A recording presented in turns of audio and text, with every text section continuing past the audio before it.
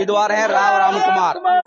पंजाबी समाज ने एक तरफा समर्थन देकर के कहा कि अब की बार सिर्फ़ और सिर्फ़ राम कुमार विधायक बनेंगे। आप सीधे तौर पर जुड़ रहे हैं। लाइव तस्वीरें साइड साइड आप सीधे तौर पर जुड़ रहे हैं लाइव तस्वीरें और आप देखें फूलों की नोटों की माला पहना करके।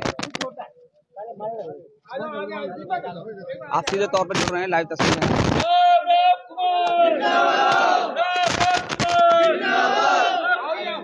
एक सेकंड हाँ जी, एक तरफ़ हो जाओ जी। आप देखें कि नोटों की माला पहना करके पंजाबी भरतपुरिया समाज ने एक तरफा समर्थन दिया है। एक बार खड़े हो जाए सारे।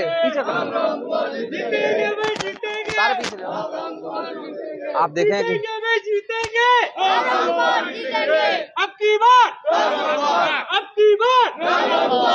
की भरतपुर पंजाबी समाज ने एक तरफा समर्थन दिया फूल माला और नोटों की मालाओं से आपका स्वागत किया है। और एक तोल भी रहे इनको तोल भी रहे और एक कह रहे हैं कि अब की बार विधायक सिर्फ़ और सिर्फ़ राव राम कुमार बनेंगे। देखिए हम जो है अभी फ़िलहाल भाटिया कॉलोनी के ब्लॉक नंबर ए में हैं और जो ये मल्होत्रा परिवार है ये बचपन से जो है हमारे साथ ही रहे इनके साथ खेले हैं कूदे हैं बड़े हुए हैं ये हमारे भाई की तरह हैं और इनका प्यार और इतना सम्मान और मल्होत्रा परिवार के साथ साथ हमारे एक ब्लॉक के सभी जो है और सारे निवासी यहाँ मौजूद हैं। हमारी बहन जी हैं। हाँ, तो सभी का इतना प्यार और समर्थन मिल रहा है। ये सब बातें दिखा रही हैं।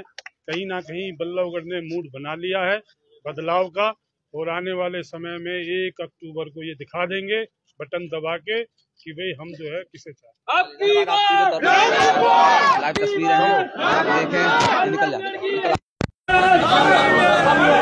बल्लमगढ़ की यही पुकार आगे तो ले लो आगे ले लो बल्लमगढ़ की यही पुकार। उन्हें आगे ले लो आगे ले लो। राम राम कुमार। जिंदाबाद राम राम कुमार। जिंदाबाद राम राम कुमार। बल्लमगढ़ की यही पुकार।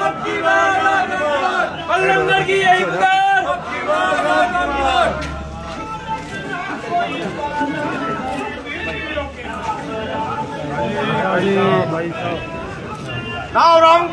राम राम कुमार। कुमार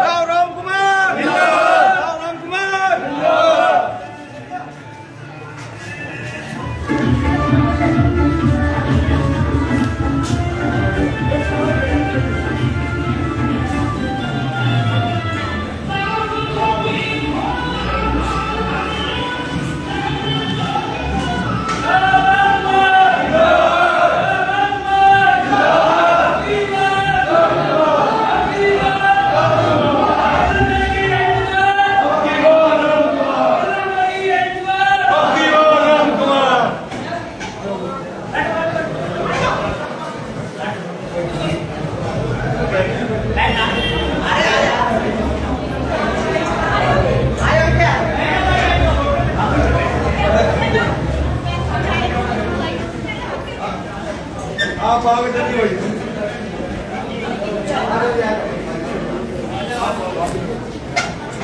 आप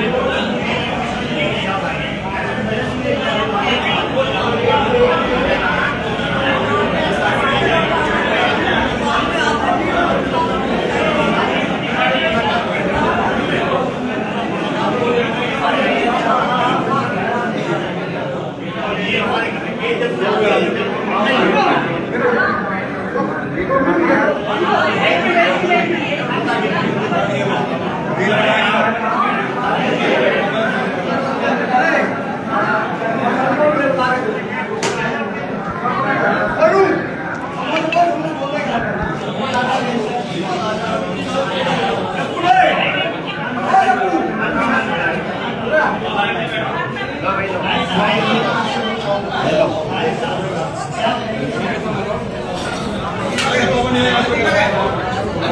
you.